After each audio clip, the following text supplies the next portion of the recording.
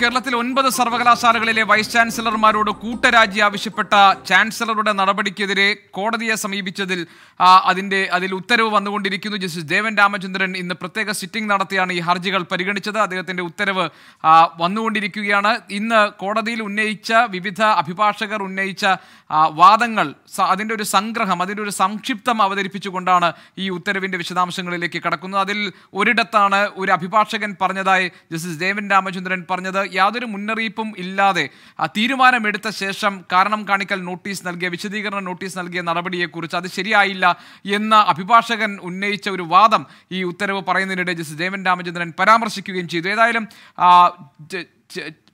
Supreme കോടതിയുടെ തീരുമാനത്തെ ഉത്തരവിന്റെ വെളിച്ചത്തിലായിരിക്കും ഈ കാര്യങ്ങൾ പരിശോധിക്കപ്പെടുക എന്ന കാര്യം കോടതി ഇതിനോടകം തന്നെ വ്യക്തമാക്കിയിട്ടുണ്ട്. ആ നിലയ്ക്ക് ഒരുപക്ഷെ ചാൻസലർ എടുത്ത നടപടിയെ ശരിയായിരുന്നു എന്ന തരത്തിലേക്കൊരു ഉത്തരവ് വരാനുള്ള സാധ്യത നിലനിൽക്കുന്നുണ്ട്. അതേസമയം തന്നെ മതിയായ രീതിയിൽ സമയം അനുവദിച്ചുകൊണ്ട് അവരുടെ വിശദീകരണം തേടുക എന്ന നടപടിക്രമം പാലിക്കപ്പെടേണ്ടതുണ്ട് എന്നതിലേക്കും ഈ ഉത്തരവ് കടക്ക കടന്നേക്കാം. ഏതായാലും ഉത്തരവ് സംബന്ധിച്ച വിവരങ്ങൾ പുറത്തു വരാനിരിക്കുന്നതേ ഉള്ളൂ. ഉത്തരവ് പറഞ്ഞു തുടങ്ങിയിരിക്കുന്നു എന്ന് മാത്രമാണ് ഈ ഘട്ടത്തിൽ നമുക്ക് പറയാൻ കഴിയുക. ഇപ്പോൾ ജസ്റ്റിസ് ജയമൻ രാമചന്ദ്രൻ ആ കോടതി മുറിയിൽ ഉയർന്നു വന്ന പ്രധാനപ്പെട്ട വാദമുഖങ്ങളുടെ ഒരു സംക്ഷിപ്തം അതിന്റെ ഒരു ബ്രീഫ് അവതരിപ്പിക്കുകയാണ് എന്നാണ് മനസ്സിലാക്കാൻ കഴിയുന്നത്. വിനീത വി ജി ഞങ്ങളുടെ പ്രതിനിധിയുണ്ട്. വിശദാംശങ്ങളുമായി വിനീത ഇപ്പോൾ കോടതിയിൽ നടക്കുന്നത് ഇന്ന് ഈ വാദമുഖങ്ങൾ ഈ ഈ വാദ വാദത്തിനിടയിൽ ഉയർന്നു വന്നിട്ടുള്ള പ്രധാനപ്പെട്ട ഭാഗങ്ങൾ ഉത്തരവിന്റെ ഭാഗമായി ജസ്റ്റിസ് ദേവൻ രാമചന്ദ്രൻ വായിക്കുകയാണോ? അതാണോ ഇപ്പോഴവിടെ നടക്കുന്നത്?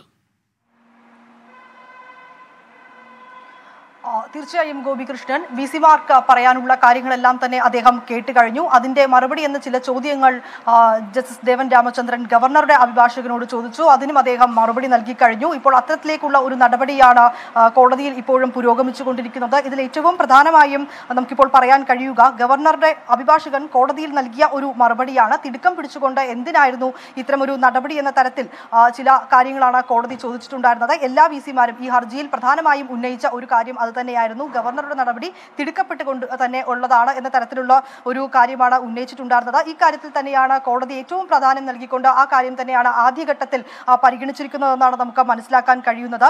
ഇതിൽ ഏറ്റവും സൂചിപ്പിച്ചത് ഈ രാജി ആവശ്യപ്പെട്ടത് അഭ്യർത്ഥന എന്ന രീതിയിലാണെന്ന് ഗവർണറുടെ അഭിഭാഷകൻ കോടതിയിൽ പറഞ്ഞിട്ടുണ്ട്. ഈ നോട്ടീസ് നൽകിയത് സംബന്ധിച്ചിട്ടുള്ള ചോദ്യം ചോദിച്ചതിലാണ് ഇത്തരത്തിൽ കോടതിക്ക് മുൻപാകെ ഗവർണറുടെ അഭിഭാഷകൻ അല്ലെങ്കിൽ ഗവർണർ മറുപടി നൽകിയത്. രാജി ആവശ്യപ്പെട്ടത് അഭ്യർത്ഥന എന്ന രീതിയിലാണെന്നാണ് അദ്ദേഹം പറഞ്ഞിരിക്കുന്നത്. സുപ്രീം കോടതി വിധിയുടെ അടിസ്ഥാനത്തിൽ മാത്രമാണ് ഇത്തരമൊരു നടപടി സ്വീകരിച്ചതെന്നും പറയുന്നുണ്ട്. അതായത് ഒരു കടും പിടുത്തം കോടതിയിൽ എത്തിയപ്പോൾ അതിനൊരു അയവ് വന്നിരിക്കുന്നു എന്ന് തന്നെയാണ് നമുക്ക് വിലയിരുത്താൻ കഴിയുക. ആദ്യഘട്ടത്തിൽ സുപ്രീം കോടതി വിധിയുടെ പശ്ചാത്തലത്തിൽ ഉടനടി രാജിവെക്കുക എന്നൊരു കാര്യം. അതായത് ഇന്ന് പതിനൊന്നരയ്ക്ക് മുൻപ് രാജി നൽകണമെന്നാവശ്യപ്പെട്ട ഗവർണർ കോടതിയിൽ എത്തിയപ്പോൾ അതിനൊരു അയവ് കൊണ്ടുവന്നിരിക്കുന്നു എന്നത് തന്നെയാണ് സുപ്രീം കോടതി വിധിയുടെ പശ്ചാത്തലത്തിൽ ഒരു അഭ്യർത്ഥനയാണ് നടത്തിയത്. ഒരു അഭ്യർത്ഥന എന്ന രീതിയിലാണ് ആ കാര്യം വി സിമാരോട് പറഞ്ഞത് എന്ന് അദ്ദേഹം കോടതിയിൽ സൂചിപ്പിച്ചിരിക്കുകയാണ്. സുപ്രീം കോടതി വിധി പ്രകാരം കടുത്ത നടപടിയിലേക്ക് കടക്കും മുൻപ് നടത്തിയ അഭ്യർത്ഥന മാത്രമായിരുന്നു ഗവർണറുടേതെന്നാണ് കോടതിയിൽ അഭിഭാഷകൻ അറിയിച്ചിട്ടുള്ളത്. ഒപ്പം തന്നെ വി സിമാർക്ക് മാന്യമായി പുറത്തേക്ക് പോകാനുള്ള അവസരമാണ് ഗവർണർ നൽകിയതെന്നും പറയുന്നുണ്ട്. പക്ഷെ ആരും അത് വിനിയോഗിച്ചിട്ടില്ല എന്നും ഗവർണർ പറയുന്നുണ്ട്. തുടർന്ന് കാരണം ബോധിപ്പിക്കാനും വി സിമാരുടെ ഭാഗം കേൾക്കാനും പത്ത് ദിവസത്തെ സമയം അനുവദിച്ചിട്ടുണ്ട് എന്നും ഗവർണർ കോടതിയെ അറിയിച്ചിട്ടുണ്ട്. പത്ത് ദിവസത്തേക്ക് ഒരു നടപടിയും ഉണ്ടാകില്ല എന്നാണ് ഗവർണർ പറഞ്ഞിരിക്കുന്നത്. അതായത് ഏറ്റവും പ്രധാനപ്പെട്ട ഇതിൽ ഒരു കൗതുകമുള്ള കാര്യം ഇപ്പോൾ അഡീഷണൽ അഡ്വക്കേറ്റ് ജനറൽ കോടതിയിൽ പറഞ്ഞതായി ജസ്റ്റിസ് ദേവൻ രാമചന്ദ്രൻ രേഖപ്പെടുത്തുന്നുണ്ട് അദ്ദേഹം പറഞ്ഞത് സംസ്ഥാന സർക്കാർ ഇതിൽ ചാൻസലറുടെയോ വൈസ് വൈസ് ചാൻസലർമാരുടെയോ പക്ഷം പിടിക്കുന്നില്ല. ആരുടെയും സൈഡ് പിടിക്കാനില്ല എന്ന് സംസ്ഥാന സർക്കാരിന് വേണ്ടി അഡീഷണൽ അഡ്വക്കേറ്റ് ജനറൽ കോടതിയിൽ പറഞ്ഞു. പക്ഷേ അഡീഷണൽ അഡ്വക്കേറ്റ് ജനറൽ ഒരു കാര്യം കൂടി പറയുന്നുണ്ട്. ചാൻസലർ ഒരു ഒരു നോട്ടീസ് ഒരു നോട്ടീസ് ഒരു ലെറ്റർ ഇഷ്യൂ ചെയ്തിരുന്നു. താൽക്കാലിക വൈസ് ചാൻസലർമാർ ചുമതല ഏൽക്കുന്ന ഘട്ടത്തിൽ പോലീസ് സംരക്ഷണം നൽകണം യൂണിവേഴ്സിറ്റികളിൽ എന്ന് അതായത് അതിലൂടെ പറയാൻ ശ്രമിക്കുന്നത് ഈ താൽക്കാലിക വി സിമാരെ ചുമതല ഏൽപ്പിക്കാൻ വേണ്ടി ഉള്ള തയ്യാറെടുപ്പ് നടത്തിയിരുന്നു എന്ന് തന്നെയാണ്. അതുകൊണ്ട് പോലീസ് സംരക്ഷണം ആവശ്യപ്പെട്ട ഒരു കത്ത് സർക്കാരിന് നൽകിയിരുന്നു. അതുമാത്രമാണ് അഡീഷണൽ എ ജി ഇപ്പോൾ കോടതിയിൽ പറഞ്ഞത്. അതല്ലാതെ വി സിയുടെയോ വൈസ് ചാൻസലർമാരുടെയോ ചാൻസലറുടെയോ പക്ഷം പിടിച്ച് എന്തെങ്കിലും ഒന്ന് പറയാൻ സർക്കാർ തയ്യാറല്ല എന്നാണ് അഡീഷണൽ അഡ്വക്കേറ്റ് കോടതി അഡീഷണൽ അഡ്വക്കേറ്റ് ജനറൽ കോടതിയിൽ പറഞ്ഞു പക്ഷേ അപ്പോഴും ചാൻസലർ ഇത്തരമൊരു നീക്കം നടത്തിയിരുന്നു എന്നത് ഭംഗ്യം തരേണ അഡീഷണൽ അഡ്വക്കേറ്റ് സൂചിപ്പിക്കുകയും ചെയ്യുന്നുണ്ട്. വിനീത ആ,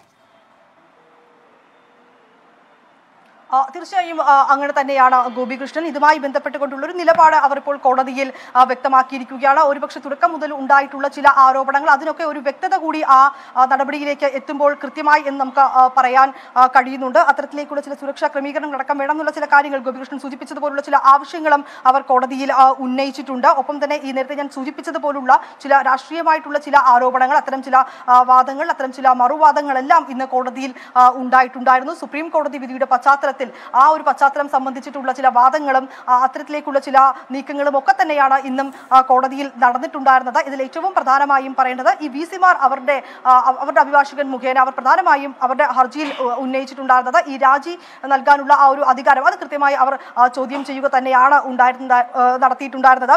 ഈ ഘട്ടത്തിലൊക്കെ തന്നെയാണ് ചില മറു ചോദ്യങ്ങൾ കോടതിയുടെ ഭാഗത്ത് നിന്നും നേരത്തെ ഞാൻ സൂചിപ്പിച്ചതുപോലെ തന്നെ കോടതി ചില മറു ചോദ്യങ്ങളൊക്കെ തന്നെ ചോദിച്ചിട്ടുണ്ടായിരുന്നത്. അതിൽ ഏറ്റവും പ്രധാനം അതായത് കോടതി എല്ലാ ഭാഗവും കൃത്യമായും നിരീക്ഷിക്കുന്നുണ്ട്. ഈ വി സിമാരുടെ ഭാഗവും അതോടൊപ്പം തന്നെ ഗവർണറുടെ ഭാഗവും അങ്ങനെ എല്ലാ ഭാഗവും ഭാഗവും കേട്ട ശേഷം വരാൻ പോകുന്ന ഉത്തരവിന്റെ സ്വഭാവം എന്തായിരിക്കും? ഒരുപക്ഷെ ഇന്ന് ഈ രൂപപ്പെട്ടിരിക്കുന്ന വലിയ വിവാദത്തിന്റെയും പ്രതിസന്ധിക്കും വരാൻ പോകുന്ന ഒരു ഒരു കാര്യമുള്ളത് പ്രധാനപ്പെട്ടതാണ്. കാരണം കാണിക്കൽ നോട്ടീസ് നൽകിയതോടെ ഉടൻ രാജിവെക്കണമെന്ന കത്ത് അസാധുവായി എന്ന് കോടതി തന്നെ ചൂണ്ടിക്കാട്ടുന്നു. നിയമപ്രകാരം നീക്കം ചെയ്യപ്പെടുന്നത് വരെ വി സിമാർക്ക് തുടരാം. അതാണ് ഇപ്പോൾ കോടതി പറഞ്ഞിരിക്കുന്ന ഒരു ഉത്തരവിൽ ഏറ്റവും പ്രധാനപ്പെട്ട ഭാഗമാണ്.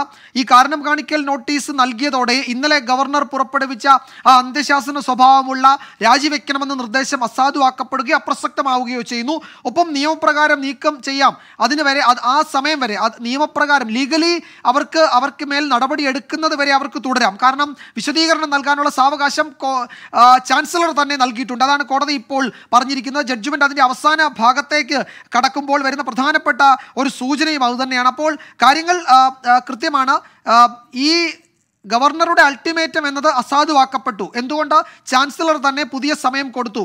പത്തു ദിവസത്തിനുള്ളിൽ നിങ്ങൾക്ക് വിശദീകരണം നൽകാം. അപ്പോൾ ഈ ചാൻസ് വൈസ് ചാൻസലർമാരെ കേൾക്കാൻ ഗവർണർ ചാൻസലർ തീരുമാനിച്ച സാഹചര്യത്തിൽ ആ അൾട്ടിമേറ്റം അസാധുവാക്കപ്പെട്ടു. അതിനെതിരെയാണ് കോടതിയിൽ വന്നത്. നിലവിൽ അങ്ങനെ ഒരു അൾട്ടിമേറ്റം ഇല്ല. അത് അസാധുവാക്കപ്പെട്ടു. അപ്പോൾ ഒരു പ്രശ്നത്തിന് പരിഹാരമാകുന്നു മറ്റൊന്ന് നിയമപ്രകാരം നടപടിയെടുക്കാൻ ഗവർണർക്ക് അധികാരമുണ്ടാകും. ആ നടപടി എടുക്കുന്നത് വരെ വൈസ് ചാൻസലർമാർക്ക് തുടരാം.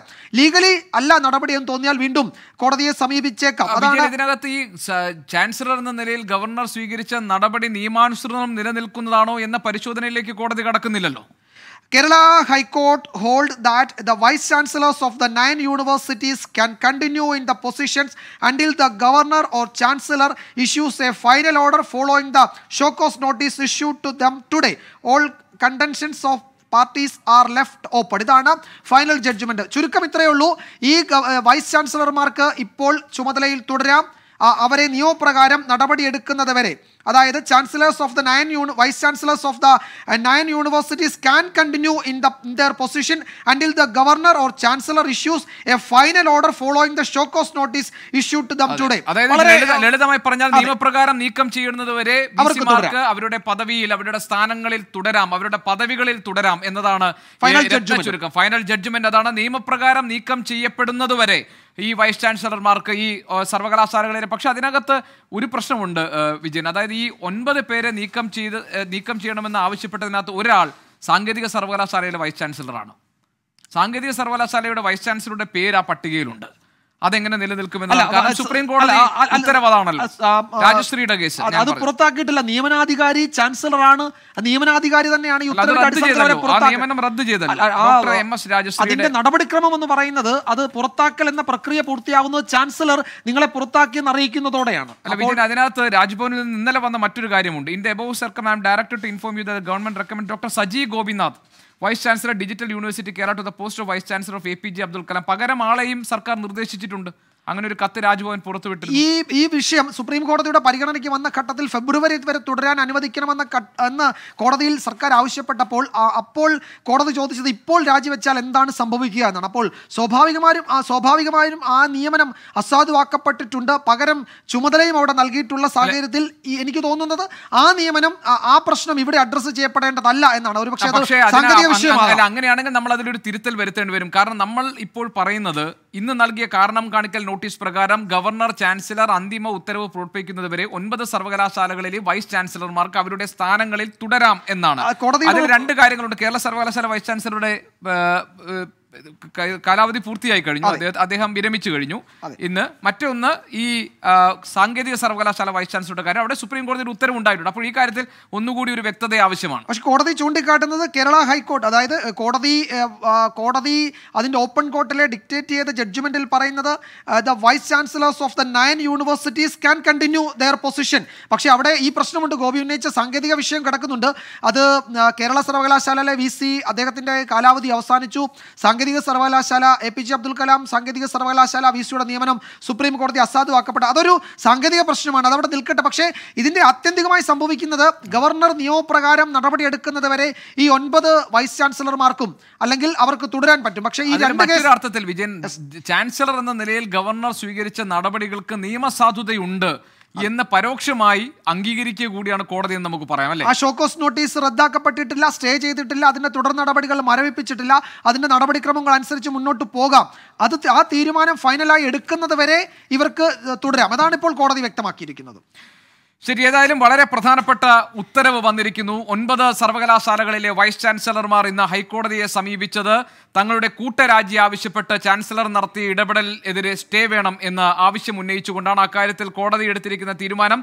കാരണം കാണിക്കൽ നോട്ടീസ് നൽകിയിരിക്കുന്ന പശ്ചാത്തലത്തിൽ ഉടൻ രാജിവെക്കണമെന്ന കത്ത് അസാധുവായിരിക്കുന്നു എന്ന് കോടതിയുടെ ഉത്തരവിൽ പറയുന്നു. നിയമപ്രകാരം നീക്കം ചെയ്യപ്പെടുന്നതുവരെ വി സിമാർക്ക് തലസ്ഥാനങ്ങളിൽ തുടരാം. ഇതാണ് കോടതിയുടെ ഉത്തരവിന്റെ സംക്ഷിപ്തം അല്ലെങ്കിൽ ഇതാണ് കോടതി ഉത്തരവ്. ഇതാണ് ഏറ്റവും പ്രധാനപ്പെട്ട വിവരം. അതിൽ നമ്മുടെ മുന്നിലുള്ള സാങ്കേതികമായ ഒരു വിഷയമായി നമ്മുടെ മുന്നിൽ നിൽക്കുന്നത് ഈ രാജിവെക്കണമെന്ന് ആവശ്യപ്പെട്ട് രാജ്ഭവൻ നൽകിയിട്ടുള്ള പട്ടികയിൽ അതിലെ ആറാം സ്ഥാനത്ത് ഉള്ളത് doctor M S രാജശ്രീയാണ്. A P J Abdul Kalam technological യൂണിവേഴ്സിറ്റിയുടെ അവരുടെ നിയമനം റദ്ദാക്കപ്പെട്ടതാണ് സുപ്രീം കോടതി ഉത്തരവിലൂടെ. അത് സാങ്കേതികമായ ഒരു പ്രശ്നമായി നിൽക്കുന്നു. മറ്റൊന്ന് കേരള സർവകലാശാലയുടെ vice chancellor doctor V P Mahadevan Pillai അദ്ദേഹം വിരമിച്ചിരിക്കുന്നു. അപ്പോൾ ഈ രണ്ട് ആളുകളുടെ കാര്യത്തിൽ എന്താണ് എങ്ങനെയാണ് ഈ കോടതി വിധി അപ്ലിക്കബിൾ ആവുക എന്ന ഒരു ചോദ്യം നമ്മുടെ മുന്നിലുണ്ട്. പക്ഷേ നേരത്തെ വിജയകുമാർ സൂചിപ്പിച്ചതുപോലെ തന്നെ ഇതിന് ഈ ഉത്തരവിന്റെ ഒരു ഒരു ഒരു തെളിച്ചമുള്ള ഉത്തരവ് എന്താണ് എന്ന് പറഞ്ഞാൽ ഇപ്പോൾ നിയമാനുസരണം അവർക്ക് നിലനിൽക്കാം അവരുടെ പദവികളിൽ തുടരാം.